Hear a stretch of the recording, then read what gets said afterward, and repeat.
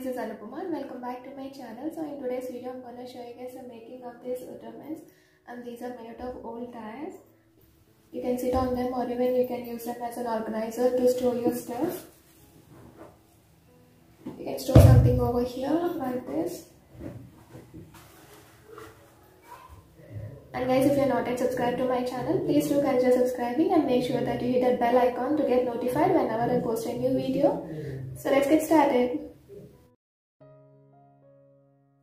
So guys, first I got these uh, ties from nearby mechanic shop and if you had a garage nearby, you can even get it from there.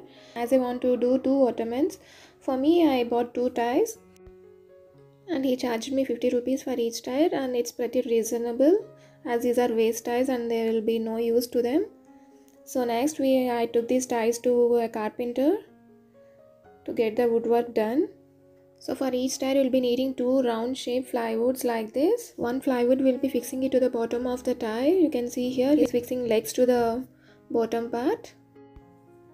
So let me say one thing guys. For the four plywoods which are cut in the round shape these are very thick plywoods and legs for both the ottomans.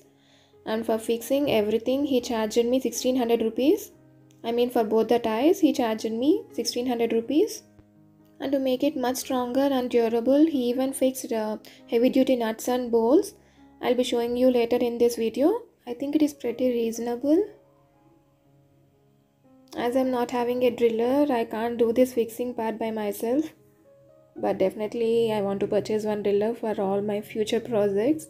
So you can see here he is fixing this wooden base to the tire. Here he is just using screws after that in the later part of the video i'll be showing you how he fixed the nuts and bolts. As i just missed the shooting part of that particular bit so i'll be showing you in the later parts how he fixed that nuts and bolts. See after the fixing of wooden base it is like that and you can see on the bottom you can see there are big nuts and bolts fixed even I'll be zooming in and I will be showing you. Let me show you.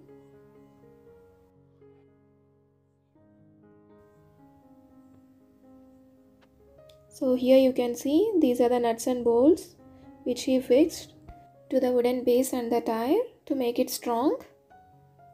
And I really love the way it turned out to be and uh, I would definitely say that the carpenter has done a great job. So now let's start the designing part. As the wooden work is done by the carpenter and this part will be done by me. And guys stay tuned. So let's start filling the tire. Usually they will be filling foam sheet around the tire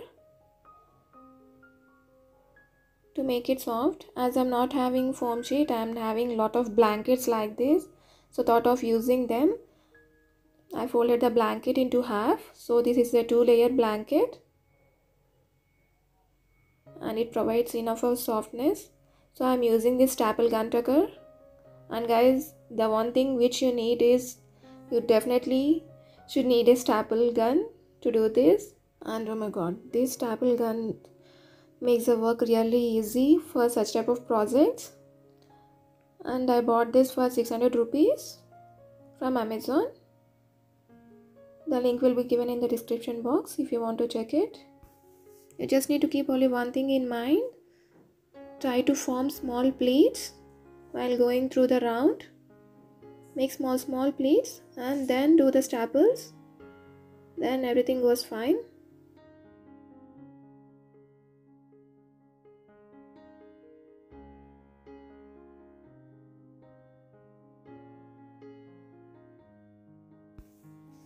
So when you finish the round, cut off the excess fabric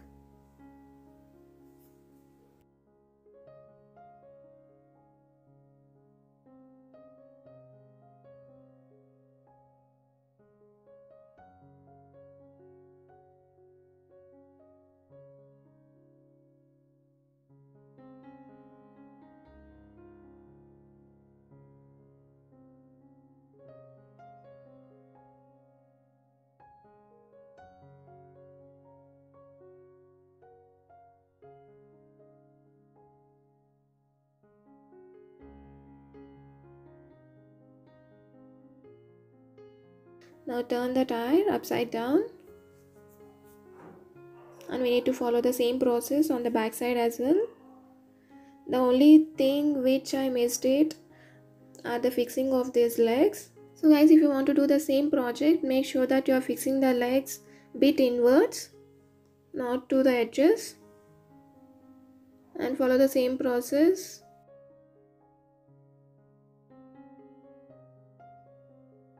so now while you are using a stapler on the back side pull the fabric tight and then do the stapling part.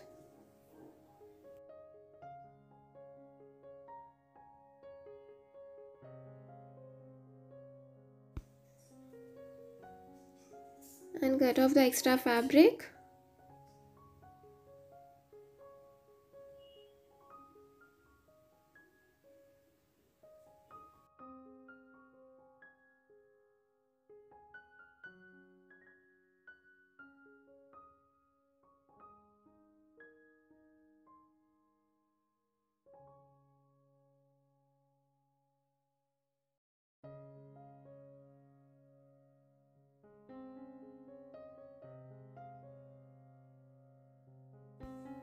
So now our first layering is done using a waste blanket.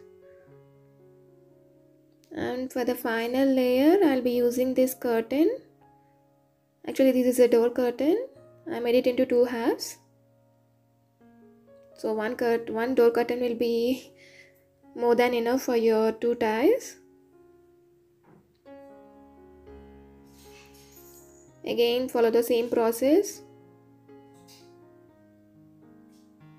cover the tire with the curtain cloth and then form small pleats and then do the staples to get a good finishing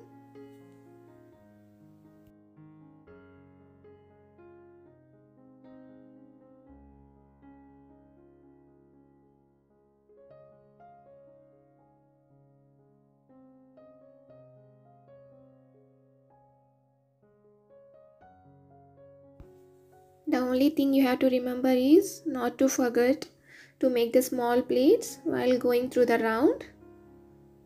This makes the work easy. Now turn it upside down and again follow the same process. Just pull it tight and then staple it to avoid any wrinkles.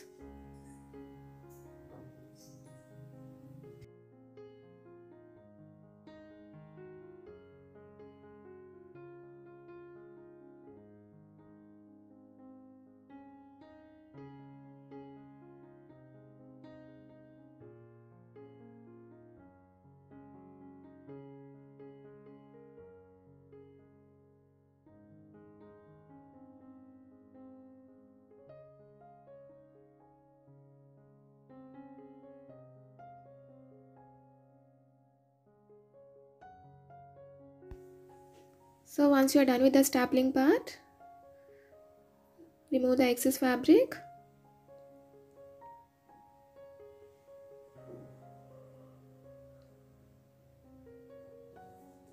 Remove the excess fabric on the top as well.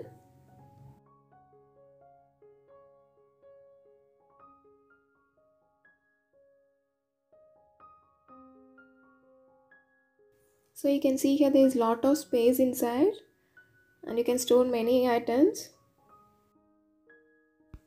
Alright, now let's move on to the cushion part. Cover this part with the foam and this foam even I didn't purchase it from anywhere. I got this foam sheet um, along with our TV unit as a protection sheet. So I thought of using it here. And if you want to do the same project for this part, you definitely need a foam sheet to make the cushion.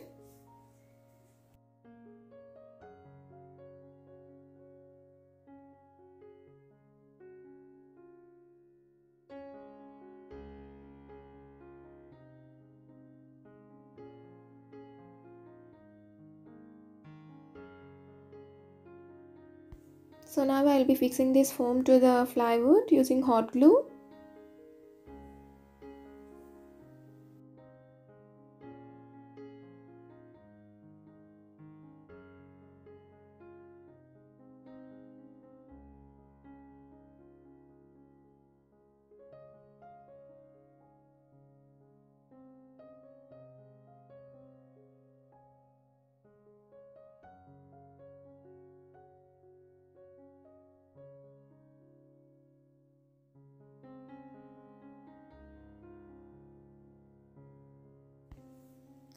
So now again for the first layering I'm using this satin cloth which is lying with me. You can use any old blankets something which is soft.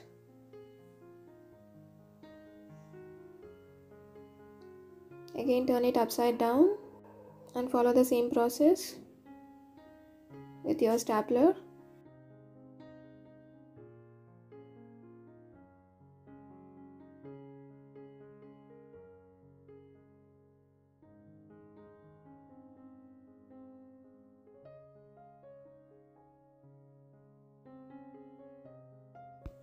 you just need to follow the same process again and again from the starting.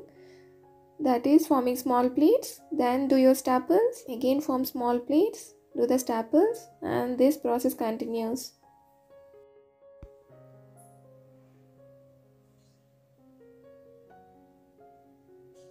Now again take the same fabric in round shape according to the size. And then fix it like this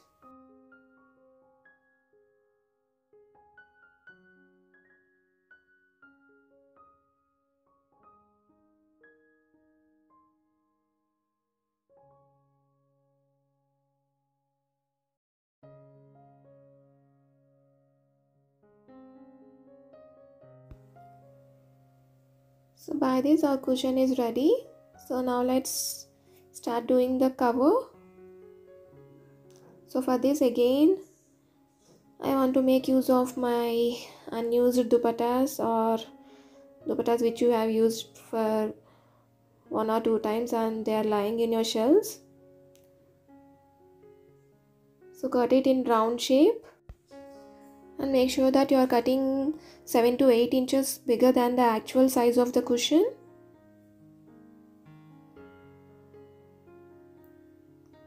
So now start forming a double fold like this.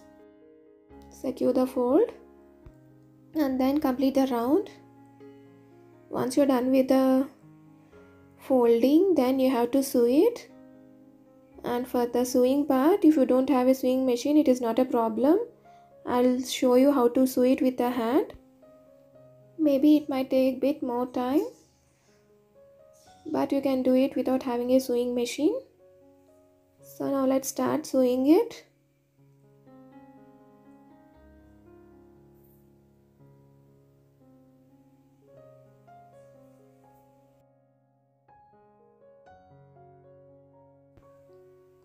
So let me show you the closer pic so that you can understand. And this is how we sew it with our hand. And this part is for those who are not having a sewing machine. And if you're having a sewing machine straight away you can go and give it a straight stitch like this. And leave one and a half inch gap at the end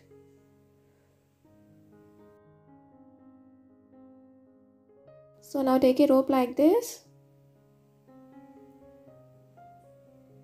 And with the help of this safety pin insert the thread inside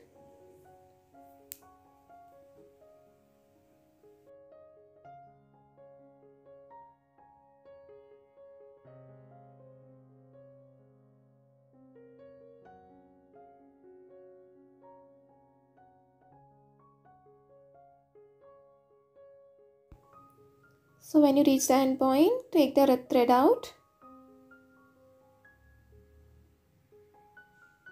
So you'll, so you'll be getting something like this. Now place the pillow upside down and just pull the two strings.